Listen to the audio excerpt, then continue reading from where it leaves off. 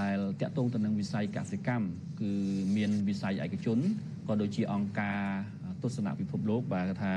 អង្គការ World Vision និង Micro ហិរញ្ញវត្ថុ AMK ហ្នឹងគឺបានចាប់ដៃគីបានចាប់ដៃគ្នាបាទចុះហត្ថលេខាលើអនុសារណៈយោគយល់គ្នាបាទក្នុងការផ្ដល់កម្ចីសង្វាក់ផលិតកម្ម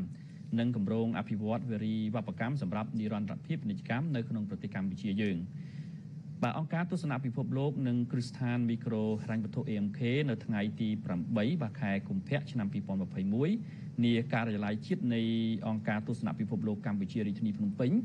បានចុះអនុសារណៈបានលើកិច្ចព្រមព្រៀងបាទបានថាចុះហត្ថលេខាលើអនុសារណៈយោគយល់គ្នា ក្នុងការផ្ដល់កម្ចីសង្វាក់ផលិតកម្មនិងគម្រោងអភិវឌ្ឍវិរីវប្បកម្មសម្រាប់និរន្តរភាពពាណិជ្ជកម្មនៅកម្ពុជាបាទជាពិសេសនេះគឺដើម្បីជួយឲ្យវិរីវប្បករទទួលនៅបានកម្ចីពី AMK ក្នុងការពង្រីកមុខរបរឲ្យកាន់តែប្រសើរឡើងនៅក្នុងសន្និសីទសារព័ត៌មានបាទលោក គីបុរាណបាទប្រធាននាយកប្រតិបត្តិនៃគ្រឹះស្ថានមីក្រូហិរញ្ញវត្ថុ AMK បានមានប្រសាសន៍ថាដើម្បីលើកកម្ពស់វិស័យវារីវប្បកម្មនៅកម្ពុជា AMK បានបង្កើតភាពជាដៃគូជាមួយនឹងគម្រោងអភិវឌ្ឍវិរីវប្បកម្មសម្រាប់និរន្តរភាព ពាណិជ្ជកម្មនៅកម្ពុជារបស់អង្គការទស្សនៈពិភពលោកក្នុងការផ្ដល់ជូននៅសេវាហិរញ្ញវត្ថុដើម្បីឲ្យទូអង្គនីមួយៗដែលជាម្ចាស់ជីវករក្នុងវិស័យវារីវប្បកម្មបាទទទួលបានទុនបន្ថែមយកទៅពង្រីកអាជីវកម្មរបស់ពួកគេ បាទជាបន្តសូមស្ដាប់ការលើកឡើងរបស់លោកគៀបុរាណបាទខាង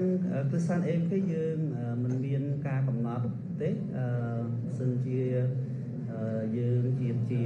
ជាការចង់បានគាត់ថាយើងចង់បានទាំងអស់បើសិនជាមានអតិជនគោលដៅ600គឺយើងធ្វើឲ្យបានទាំងអស់ដើម្បីជំរុញឲ្យកម្មវិធីនេះបានទទួលបានជោគជ័យអឺតកតងជាមួយទំហំកម្ចីតកតងជាមួយនឹងលទ្ធភាពដែលយើងអាចធ្វើបានយើងដូចជាមិនមានជាបញ្ហាអីចោលទេព្រោះយើងជាគ្រឹះស្ថានមួយដែលមានទំហំអាសិតខ្ទង់600លានដុល្លារអញ្ចឹងតិជន600នាក់ម្នាក់ ខ្ចី40000ដុល្លារចំពោះយើងមិនជាបញ្ហាទេអញ្ចឹងយើងស្វាគមន៍ហើយតកតងជាមួយចំនួននេះយើងឃើញដូចខ្ញុំបាននិយាយពីពីដើមថាយើងជឿជាក់ថានេះជាការចាប់ដើមហើយវាមិនមែនចប់តាម600 enterprise ទេនឹងមានថែមច្រើនទៀតនៅថ្ងៃខាងមុខពេលដែល program បានចាប់ផ្ដើមបង្កើតឡើងហើយធ្វើឲ្យប្រជាជន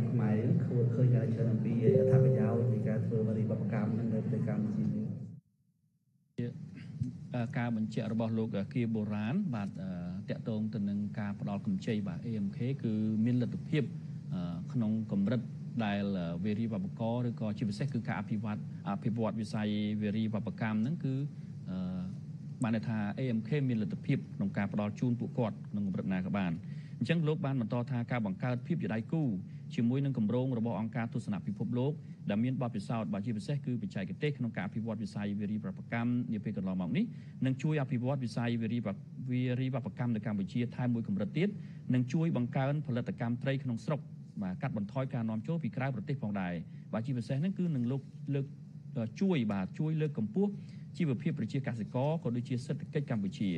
គោលដៅចម្បងនៃភាពជាដៃគូរបស់អង្គការទស្សនពិភពលោកនិង AMK គឺផ្ដល់ជូនជាមួយនឹងសេវាកម្មហិរញ្ញវត្ថុដែលងាយស្រួលក្នុងវិស័យវារីវប្បកម្មបាទពង្រឹងសហគ្រាសធុនតូចនិងមធ្យមតាមរយៈការធ្វើឲ្យប្រសើរឡើងនៃការទទួលបានហិរញ្ញវត្ថុសម្រាប់កំណើនអាជីវកម្មសកម្មភាពនេះគ្រប់គ្រងដល់ការផ្លាស់ប្ដូរប្រព័ន្ធដោយជួយដល់ភ្នាក់ងារហិរញ្ញវត្ថុក្នុងស្រុកឲ្យយល់កាន់តែច្បាស់អំពីហានិភ័យ និងឱកាសដែលតាក់ទងនឹងវិរិយវប្បកម្មព្រមទាំងជំនះឧបសគ្គដែលរារាំងដល់ការផ្ដល់ប្រាក់កម្ចីកាន់តែច្រើនដល់វិស័យនេះសូមជម្រាបជូនថាគិតត្រឹមខែធ្នូឆ្នាំ2020 AMK មានអតិថិជនសរុបចំនួនជាង90ម៉ឺននាក់ជាមួយនឹងផលប័ត្រប្រាក់កម្ចីជាង374លានដុល្លារអាមេរិកនិងប្រាក់បញ្ញើជាង191លានដុល្លារអាមេរិកមានការិយាល័យប្រតិបត្តិការចំនួន149កន្លែង និងមានភ្នាក់ងារជាង5000កន្លែងនៅទូទាំងប្រទេស ចាទស្សនិកជនយើងងាកមកចាប់អារម្មណ៍